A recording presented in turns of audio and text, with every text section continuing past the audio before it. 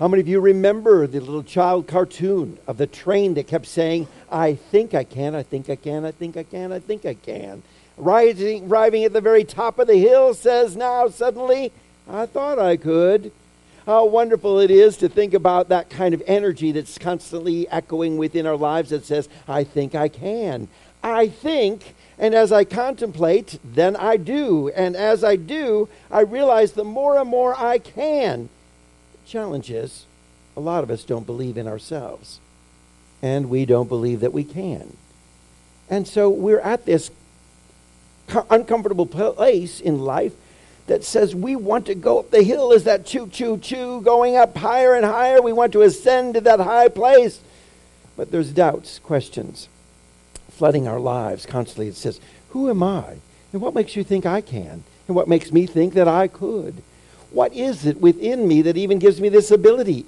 People have great expectations and they look to us and say, But I believe you can, but within, we must believe in ourselves.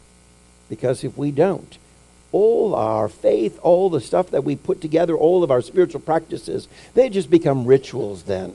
If we're not living them out alive within us that says, I can do all things through Christ, which strengthens me. Today's scripture text from the book of Acts says, God brought special miracles by the hands of Paul. Miracles working through Paul, through the hands of Paul. Today we saw a beautiful Reiki demonstration of hands of Anne laid on Tyrone.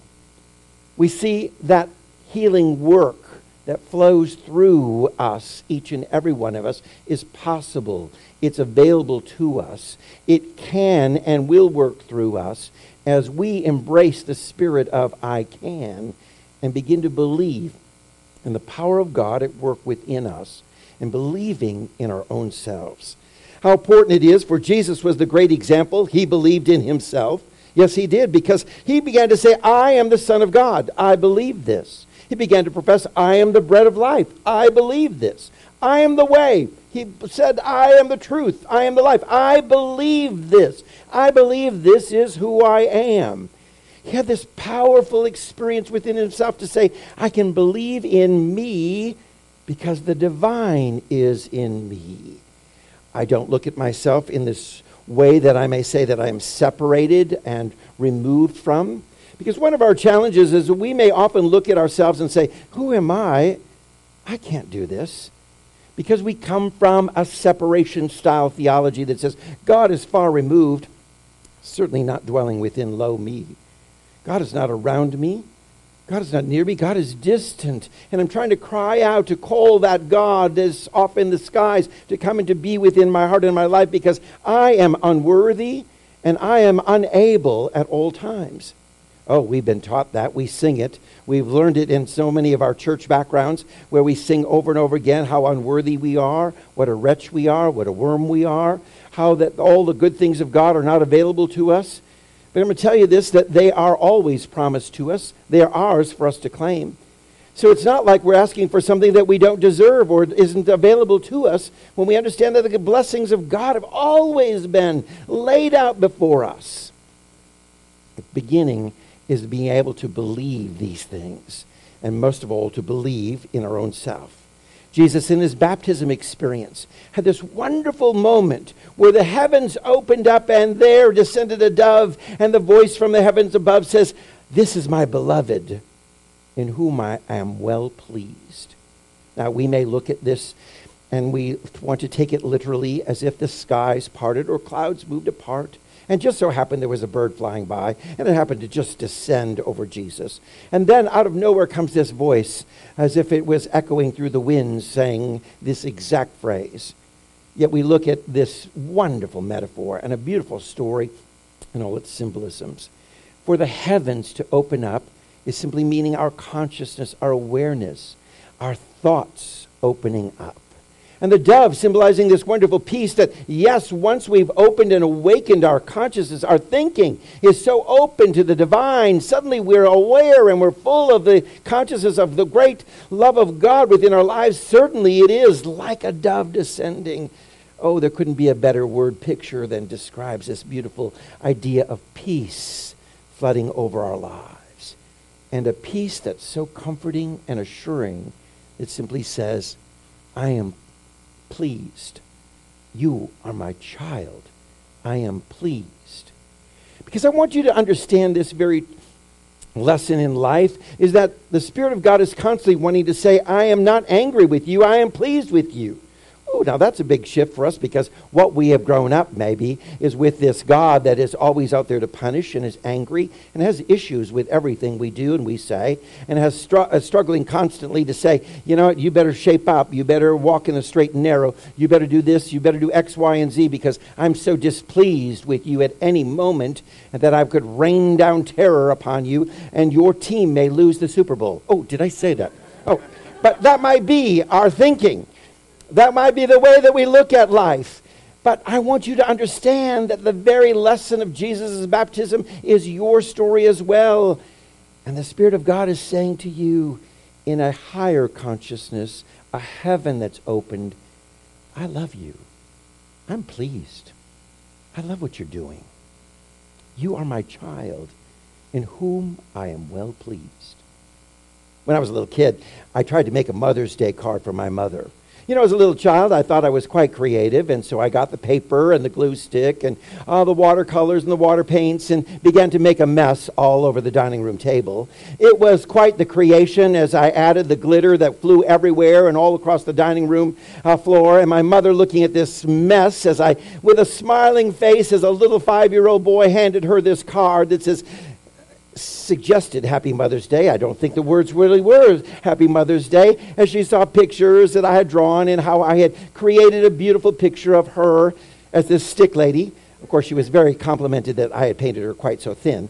Uh, and with gorgeous, gorgeous hair and all this wonderful stuff. And my mother looked at this messy, messy, not so beautiful card. And all she could say was, Thank you. I'm pleased. I love this. It's beautiful. I see your efforts. I want you to say, understand that God also is saying the same to you today. I love you. I'm pleased. I see what you're doing. I see your efforts. I see the journey that you're doing. I see the creative efforts that you're making. I see the wonderful way that you're expressing yourself. I see all of this, and I'm not here in condemnation.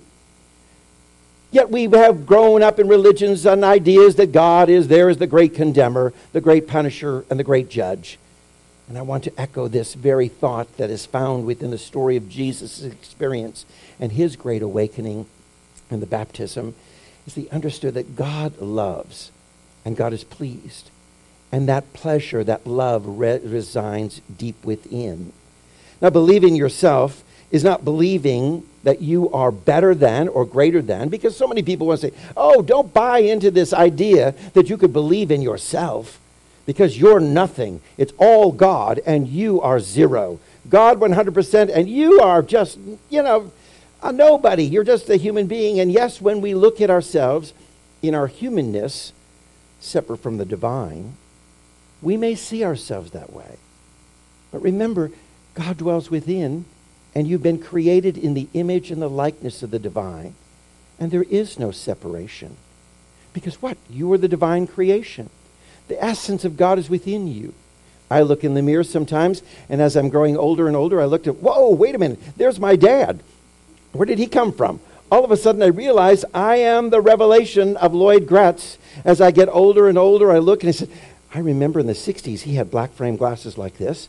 In fact, he had some sideburns that were going down, and he brushed his, brushed his hair back, and I'm thinking, and it was gray, and I'm thinking, oh, there is Lloyd Graetz. I am seeing the revelation of him, my father. It's in my DNA. That nose, it's a Lloyd Graetz nose. Yes. Uh huh. Some of these, uh, you know, character lines are symbolic of his character lines, and he had them in the same places. I don't call them wrinkles, remember? Uh, they're character lines. Uh, so we look at all this and we see that you know, I'm a revelation. The DNA of my Father is within me. And the DNA of the divine is within you. You're something special. You're something amazing, something powerful.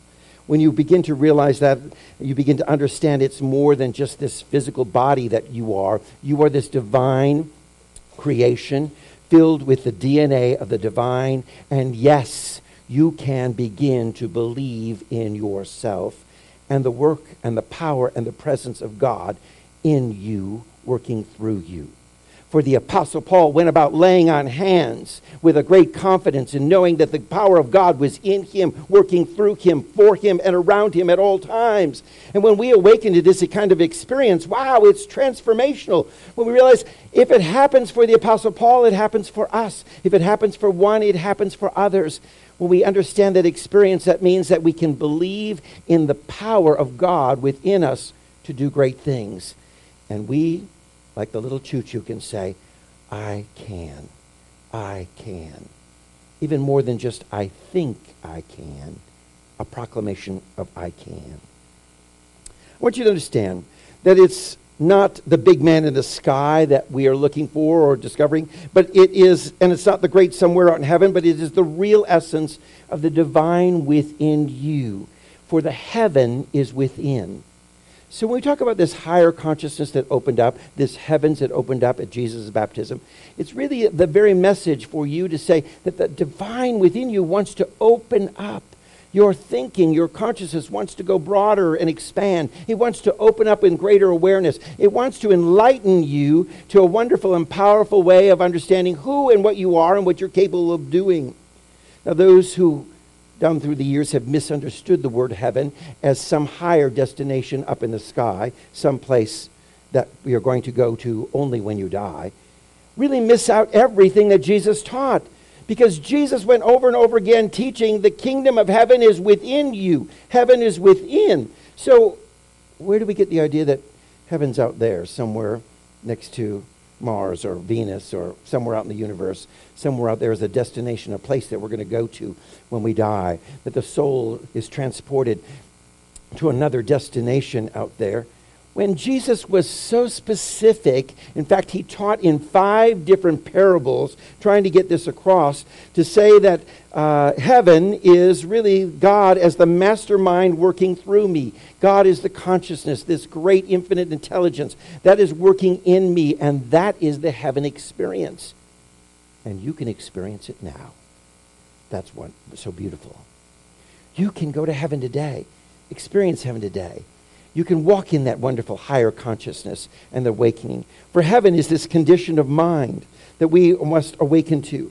Jesus talked about it in different stories. He talked about the seed of a mustard seed uh, that could be planted, and heaven is like this and how it grows and flourishes. That means your understanding can grow and flourish within you.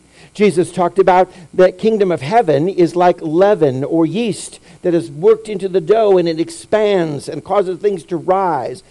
That's the heaven that Jesus invites us to experience.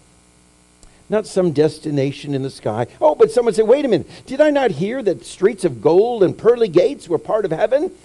And remember, all of these things are wonderful symbols and metaphors for us to understand that, yes, the experience of the heavenly encounter is that of walking on the wonderful abundance of God that it lays before you and you ground your feet and walk across those streets of gold.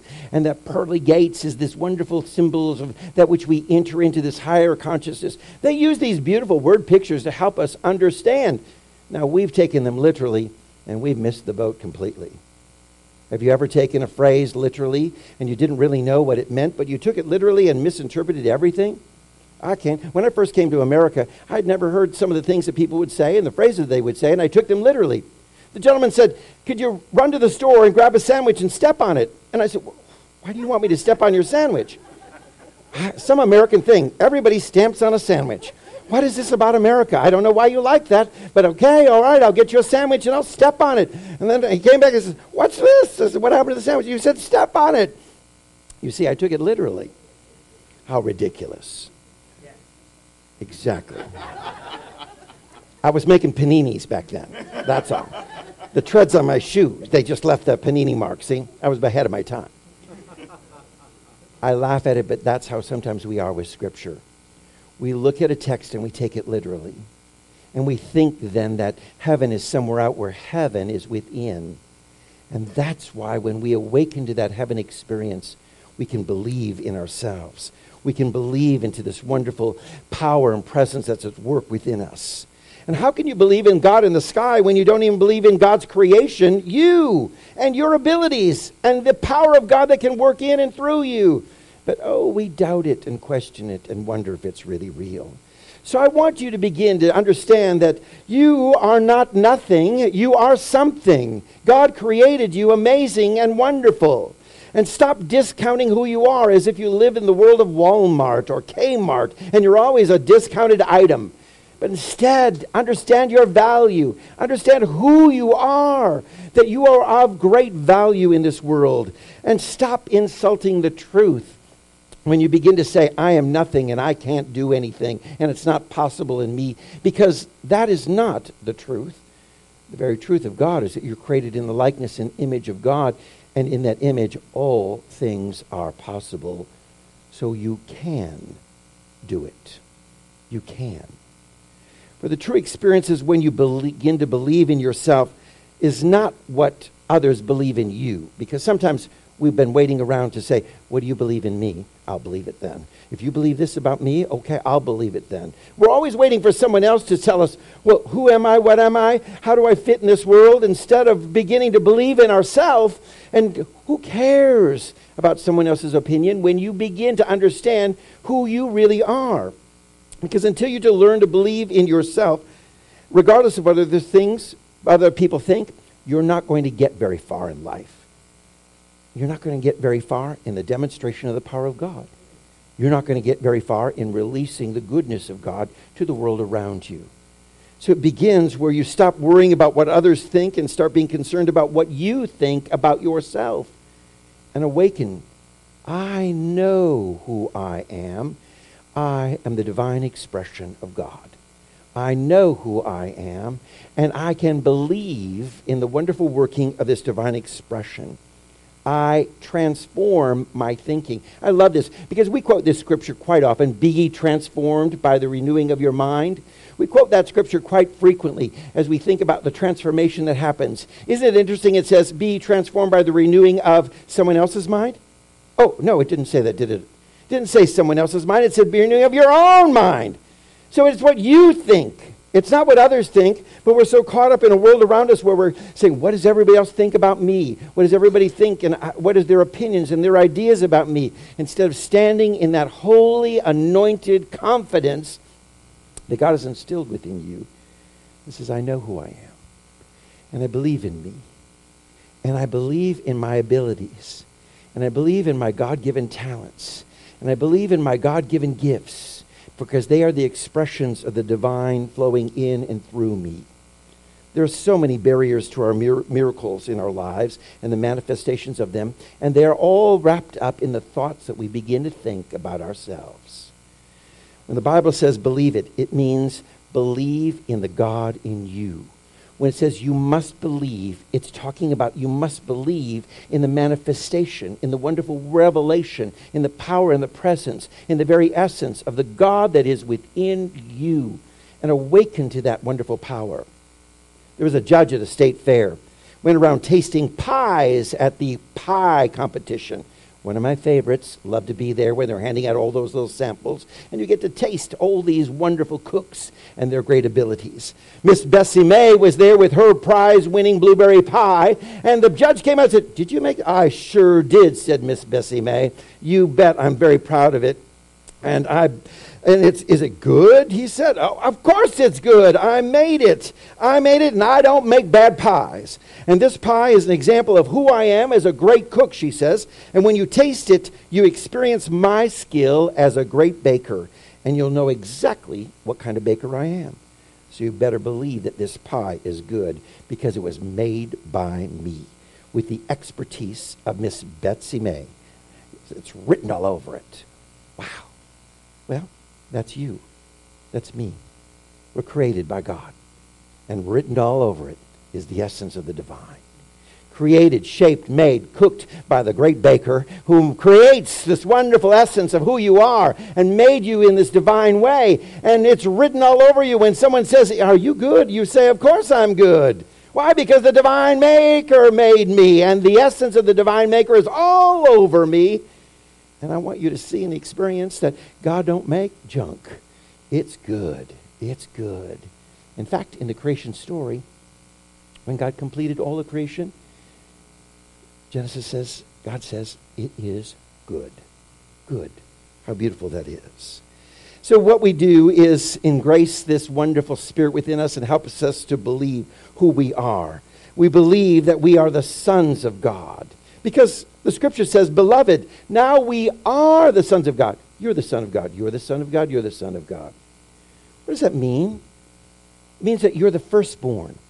In the ancient times, to be the son, the firstborn son, was to be the one who was the heir to everything. You know? How wonderful. You're the heir. You're the firstborn. You're the son. You're the one who's there, who has everything available to them. Beloved, the scripture says, we are now sons of God, and doth not appear what we shall be, but we know that when he shall appear, we shall be like him. When God appears within us, we will be like God. Here's the beautiful story then for our lives is how does God appear? God appears in our awakening, our awareness, in the heaven, in the consciousness, in the higher dwelling, in the awakening within our hearts and our lives. And when that happens, what does the text say? You're going to be like him. You're going to be revealing. You're going to be showing the world. When they look at you, they'll say, Wow, I just saw God. I just saw God. I just saw the wonderful power and presence being revealed right here in this moment, in this, in this room. How does it appear to us? It's that we shall see God as God is. We then see God revealed us, and then we look around and say, I see exactly how God is. Because once you've awakened to the power within you, and it's being revealed and manifested, we look around and we say, that was God. That was God. I was at a scene of an accident, and there some people volunteered to rush into the flaming car and try to pull someone out before the car consumed their body. And people said, Wow, that was God. That was God. Those people with all that boldness, all that energy, all that fervence, all that desire to go in and to save and to rescue, that was God. That was God. We think about all these experiences that we see. We've been seeing God all along, but we just don't acknowledge it because God is revealed through us. But we don't believe in ourselves. I'm not the revelation. We don't believe in ourselves. I can't do miracles. We don't believe in ourselves. I can't do great things. Acts chapter 19 that we read is a simple line God brought miracles by the hands of Paul when we begin to believe, miracles will be brought about by the hands of one another, by the actions of one another, by the movements of one another, by the ways that people will respond to the world's crisis and the world's needs. It will be there. And it is this moment when so many people say, you know what, miracles in the Bible, they were great. It's wonderful to read about Jesus feeding the 5,000. That ain't going to happen today. You know, it's wonderful to think about, you know, Jesus walking on water. That ain't going to happen today. You know, the apostles did all these wonderful miracles and they went about and healed. And yes, the apostle Paul, he brought about great miracles and worked through his hands. That's wonderful. But you know what? All those miracles, they died with Jesus and they died with the apostles. But we don't have them today. Isn't that crazy to think that way?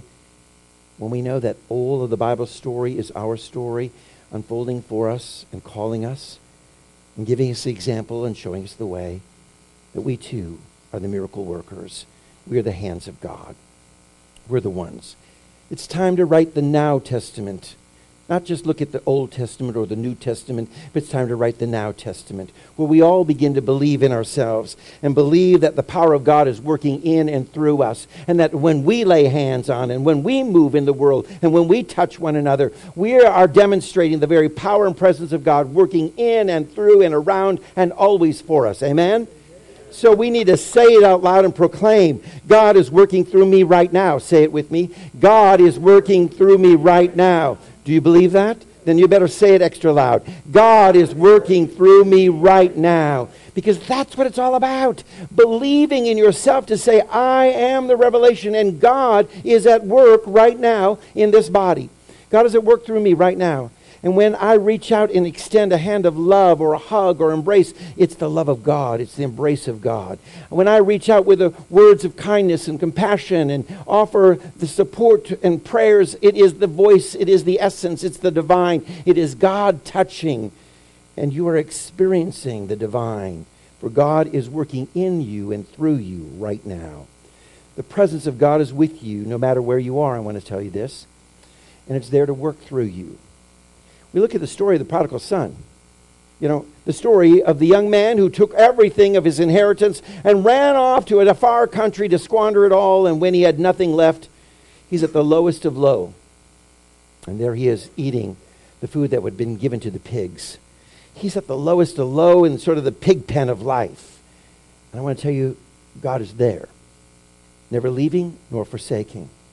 So, no matter what experience you're going through, I want you to know that you can believe in yourself in the high and in the low and anywhere in between. Whatever you may be going through, that presence of God is with you. It's never left you nor forsaken you. It's not moving away from you. It's just that you have dimmed the vision and the awareness and stepped out of that heavenly consciousness and that higher awakening and begin to believe the voices of the world around you that say, You can't. You're not worthy. You're of no value. It's not possible. You see, that presence is still there, waiting to ignite that awareness in a, like a bright flame rising up within us when we're willing to say, I believe, and I believe in me, because God is in me. Now, you've had practice in believing yourself because as a child you've done it before, and so you can do it again. How many of you remember learning to walk? Okay, let's go back a little bit. You know, it wasn't just yesterday. Did you ever remember that? But we look at all the little babies, our grandchildren, our nieces, our nephews, our little kids, and we see them and we go, oh, yes, that was me. I too began to rise up. I fell. I faltered. I began to believe that I could walk. I believed to put a foot forward and reach out and grab onto things and begin to move. And so I began enough to learn to walk. And today I'm inviting you to learn to walk again, but this time to walk as the miracle worker that you are. Because God wants to do some amazing things through you. Would you believe in yourself? Because you're a miracle worker. Would you believe in yourself that you are today's Apostle Paul and that miracles are wrought as you lay hands, as you move out, as you touch the world? For God wants to see this miraculous power at work.